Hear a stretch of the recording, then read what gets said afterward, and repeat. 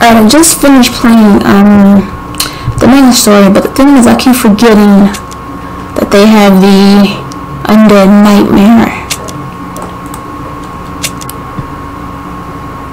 So let's see how this goes.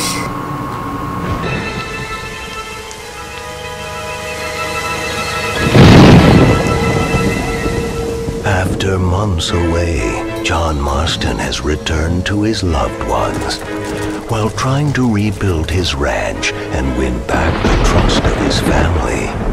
Marston awaits whatever life will throw at him. As he drives home one evening from an errand, he ponders whether a man can ever escape his past. He is a man who is ready for anything. Almost anything.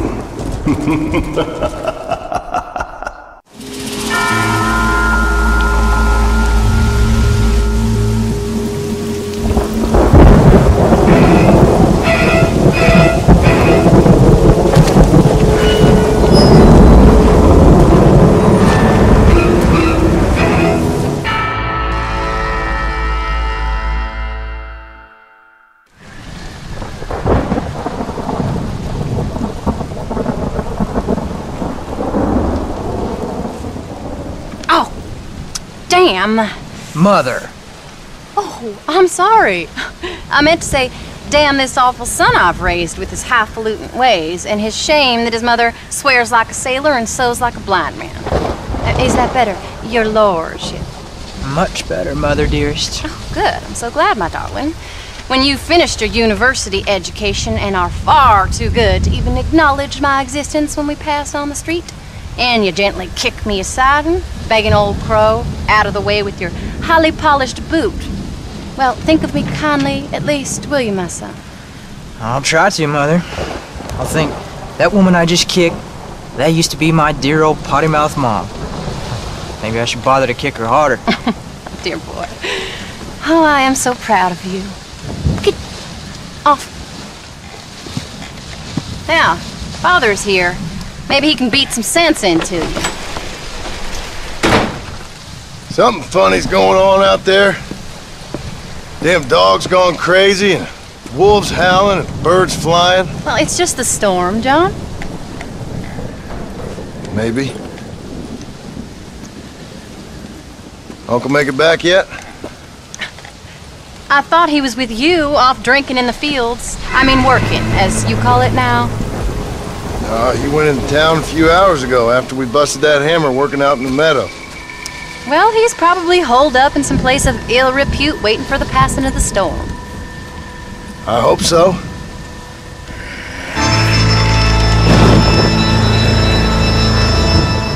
Well, that old man can take care of himself. I know. Just a funny feeling I got. You gone psychic, Paul? Either that or I ate something funny. Knowing your mother's cooking seems more than likely. Hmm. Well, talking about food, who's ready for some poisoning? Me, my darling. I am starving.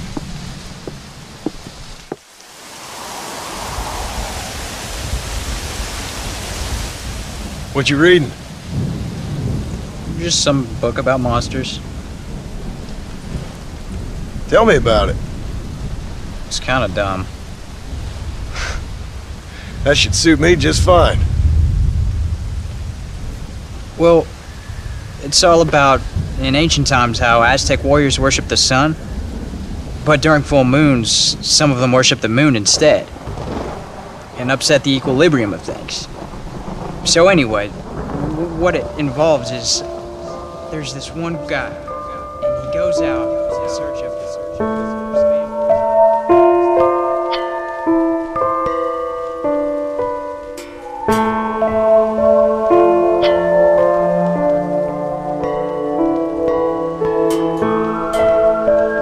That leaves him all alone. So, anyways, since there ain't no cure, the brave man has to kill everybody. Which is Absolutely disgusting and completely unbelievable. it's getting late. Guess we're not gonna see Uncle till morning. Come on then, Abigail. Jack, get yourself to bed, boy. Try to get some sleep. Ain't you worried about Uncle? Sure. But he'll have to wait till morning, just like any other man would in his shoes. Night, son. Don't stay up reading too late.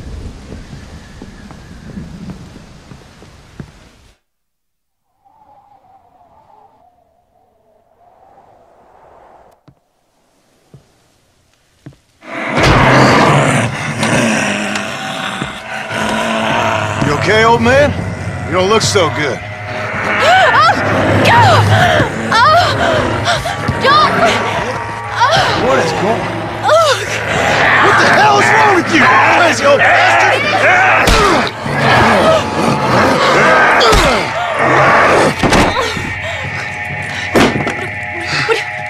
Where you going? Where you going? To get my gun.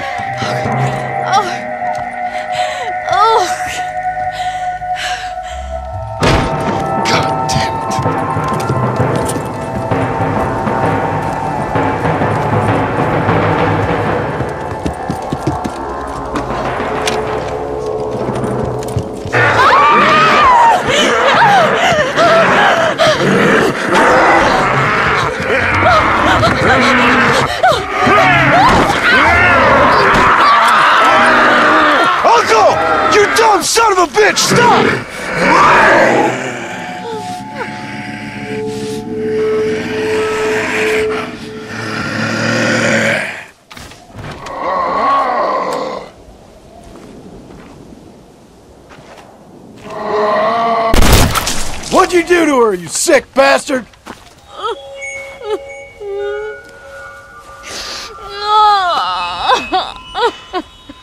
I can't believe I had to kill that poor bastard. I. Well. You okay, darling? You okay? Oh. Abigail. Abigail. I don't feel so great. Jack! Get out here! Now! Good lord, what's happened? Mama? Careful, boy. Mama? Ah, Mama! Stay right there, the pair of you. Don't make me no widower now.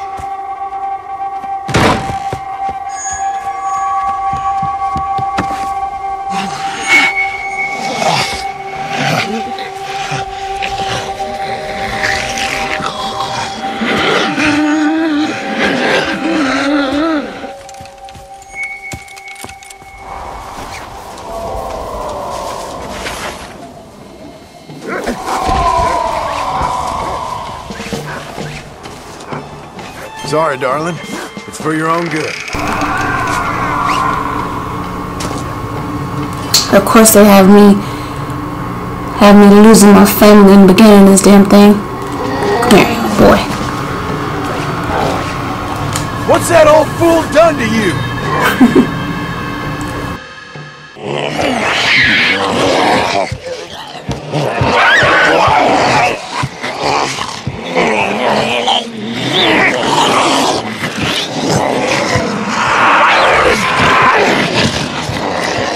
I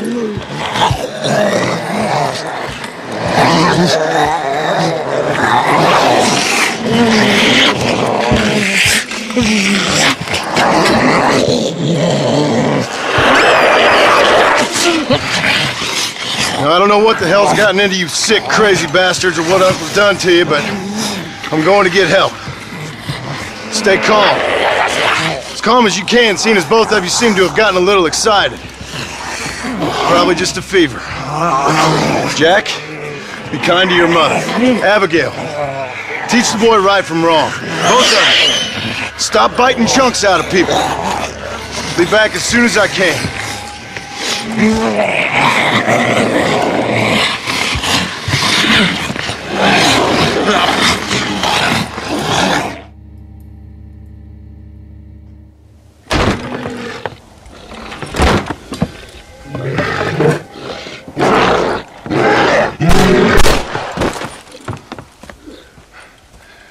I best go find me a doctor in town.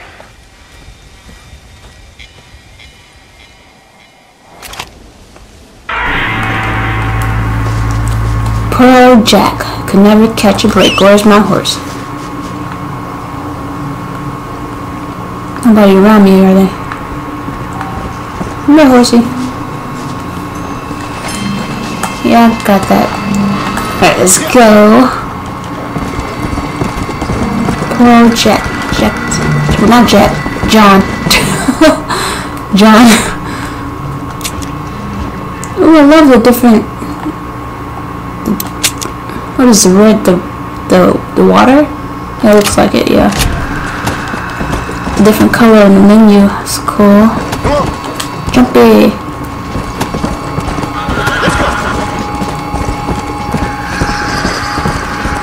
Come on.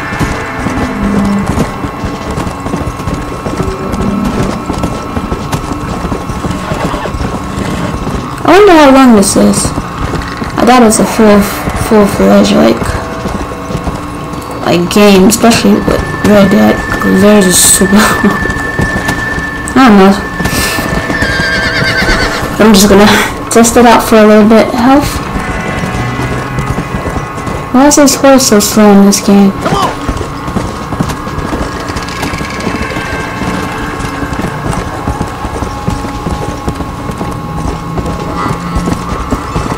Blackwater. Oh, then I see Bonnie as a zombie.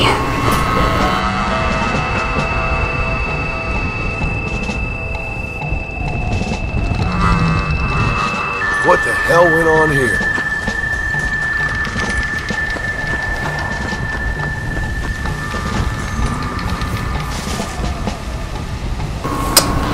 Almost did it again where I wasn't recording my voice. But my horse can't go this way. I don't see anybody. I'm about to change my gun in whip in a minute. Ah, shit. It's kind of creepy. Mr. Marston, sir! Marston! It's me! Professor, what are you doing here? I thought you went back to Yale. I did, but uh, I came back uh, for another round of research, and now all hell is quite literally broken loose. What is going on? Well, well, sir, I'm a man of science, a, man of great learning, a, a thinker, a, a wise man, and I'll be honest with you, sir, I haven't got a fucking clue. Well, ain't that dandy? What, what should we do? Well, I suggest we try to find other survivors, band together, and find a cure. Or fight to the death trying. Well, well, that sounds great and all, but uh, but I'm uh, just peachy. But, but I'm not sure that I'm I'm not cut out for such shenanigans. I, I was thinking more that uh, finding a horse and, and riding back to the civilized north at the speed of knots before writing a paper on the events from the comfort of my study. I'm a scientist after all, right? I mean, I I, I can't do much science if I'm some bloodshot dervish's lunch, can I? Much as I would like. Your sense of duty is very impressive, Professor. I'm gonna search the back street for survivors. No, no, be- perhaps staying with you would be safer. Uh, could, could you just wait a sec here, would you please? I, I'm going to wander down that lonely, deserted street and get my bag. Wait, you should stay with me, Professor. You haven't got a gun. Oh, no, no, it's okay. There's no need to worry. Everyone's already dead. I left my stuff with Mr. Nastas. Uh, you remember him. Uh, Indian fellow, dumb as bricks, but, but a good sort. Okay. Well, meet me in a couple minutes. Affirmative. A couple of minutes.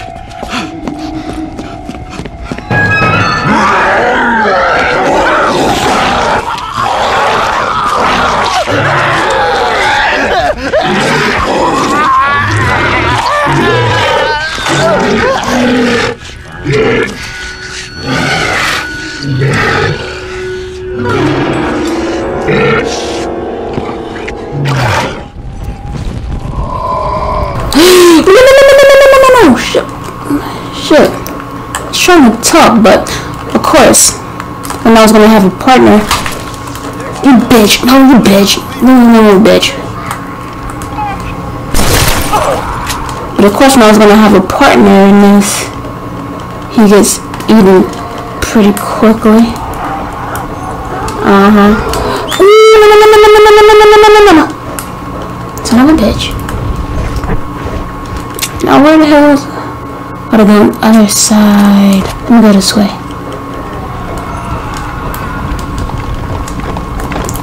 oh, that horse scared me. Fuck you.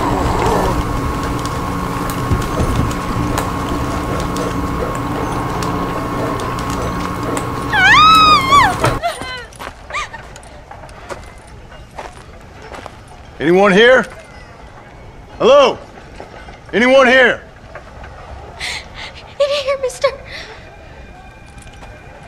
Come out. It's okay. Come out. I don't bite. Bad joke. I mean, come out. They got my family, mister. And mine, I fear.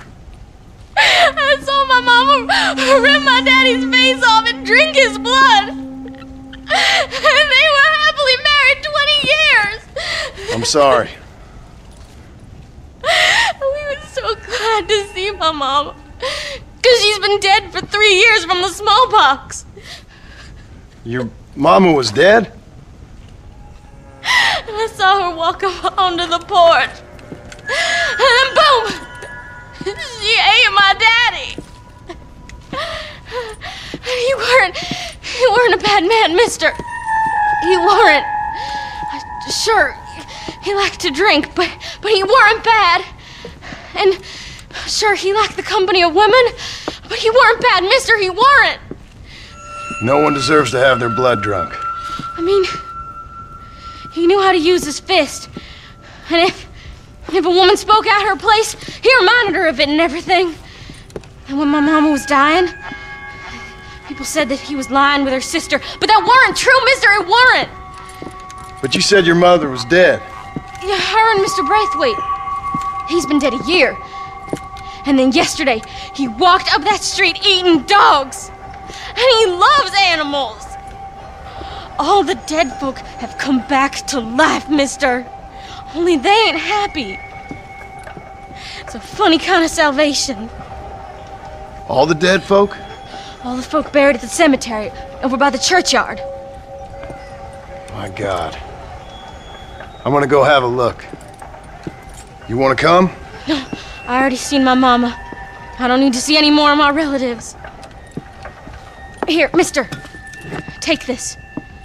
If you can burn them, maybe you can put their souls to rest. I, mister! You see my Uncle Mordecai? Burn him. Burn him real good, you hear?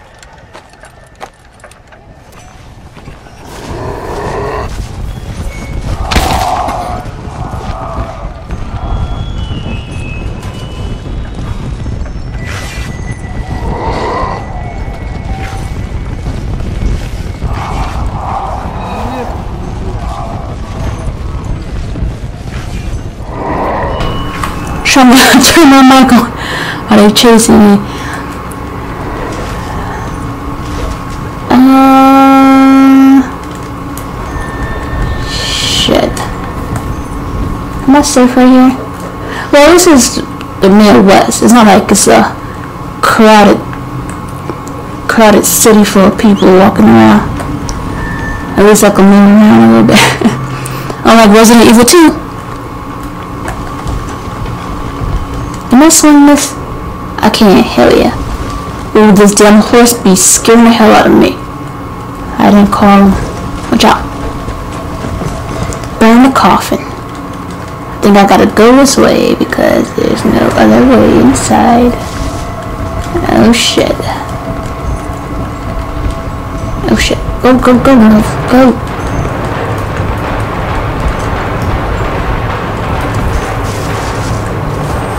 What is this?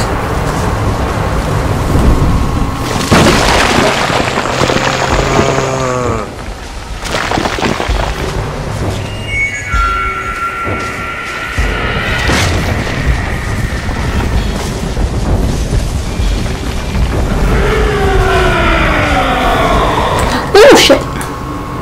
Burn it.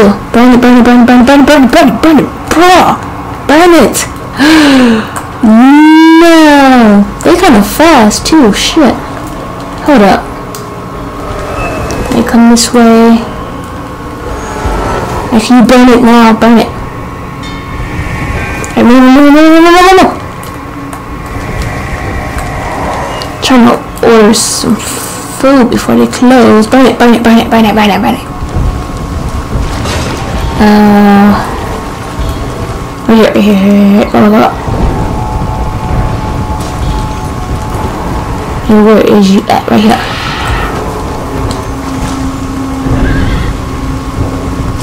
What about all the other bodies that's buried underground?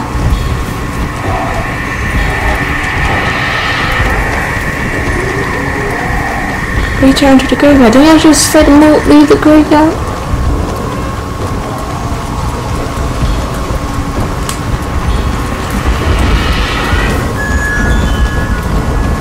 And now what?